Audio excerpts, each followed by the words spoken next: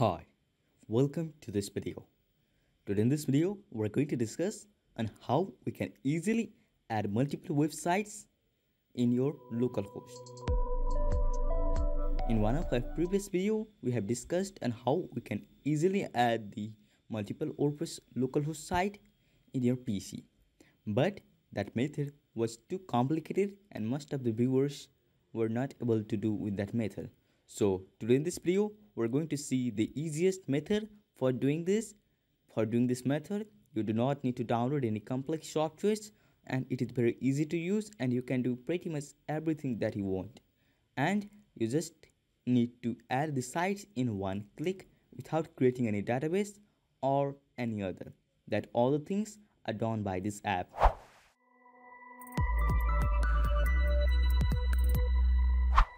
At first, go to localwp.com. When you go here, just click on this download button. Then choose the platform. It supports on Windows, Mac, Linux.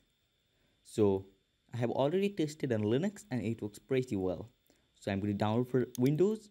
Just fill in your information here. Just click on get it now. Now you just need to wait and it will start to download. Let me click on save as let me download.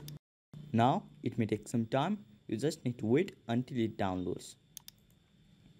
So for doing this method you do not need any other application and you need to be online while using this application. But after you create the site you do not need to be online. As you can see now it is downloaded. Now it is time to open now this will start the installer of this local. Just choose your users. Now click on next. Now click on install. Now it will start to install the local application on your PC. You just need to wait for some time. So I need to wait for some time. So now it is installed. Now it's time to open this application. Just tick this run local option. Just click on finish. Now when you do not have any website then it will look like this. Now just click on create a new site. Now choose your site name. You can choose the advanced option and just change the local site domain. I'm going to choose corelon.com you can choose the local path and just click on continue I am going to choose the preferred environment. If you do not want, then you can choose custom environment. Just put your WordPress username and password. You can go to the advanced option and turn on the WordPress multi-site if you want, but I'm not going to do that. Let me click on add site. And now it may take some time. It is creating the folder. If it asks for any permission, just allow that now as you can see my website is big added sometimes it shows any error so one of the most common error that i have seen in while using this app is due to the host file. To fix that error just go to your file explorer just go to c drive just go to windows directory just go to system32 folder just go to drivers folder now go to etc now right click the host file. Click on properties. If this is in the read-only mode uncheck it. If it is not then click on ok. Sometimes it is unchecked but it often shows the error. Then you can just check this button then click on ok and again go to the properties and just click on uncheck and click on ok. Hopefully that may fix the error. Sometimes that often do not fix that error. For that you need to go to the settings. Just go to advanced. Just go to the router mode and choose the local host. From here just click on apply after that. The only disadvantage of doing this is that you will not get the custom domain that I have chosen like corelon.com. Your will be like localhost is just slash slash now as you can see it is installed now you can just go to the view site and this will open your local host. You can also trust this SSL. When you click it, any permission or UAC will be asked. You can just allow that. Now it is trusted, meaning that it will show the trusted icon or SSL.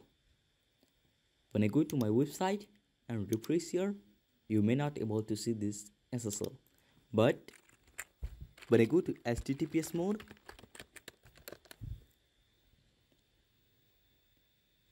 it shows the SSL. There is SSL, but it is not showing that.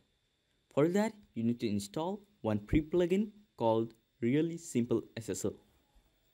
For that, you need to go to the dashboard and enter your login information. Now just go to plugins, add new. Just go here and search for Really Simple SSL install this first plugin.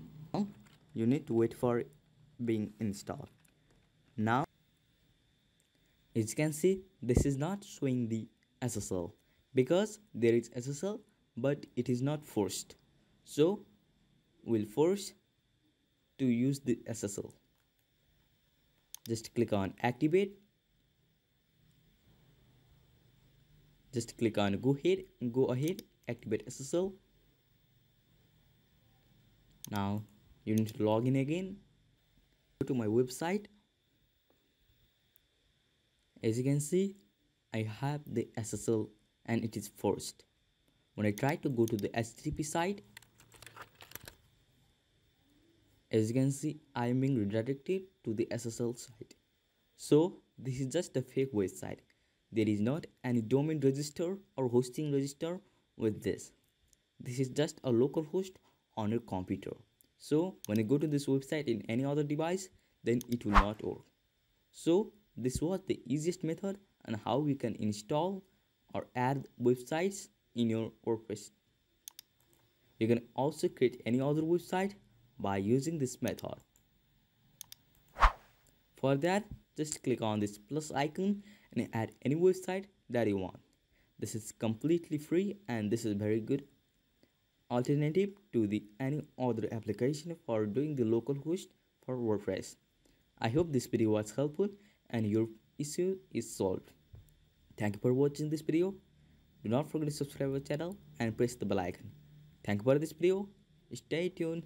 Goodbye.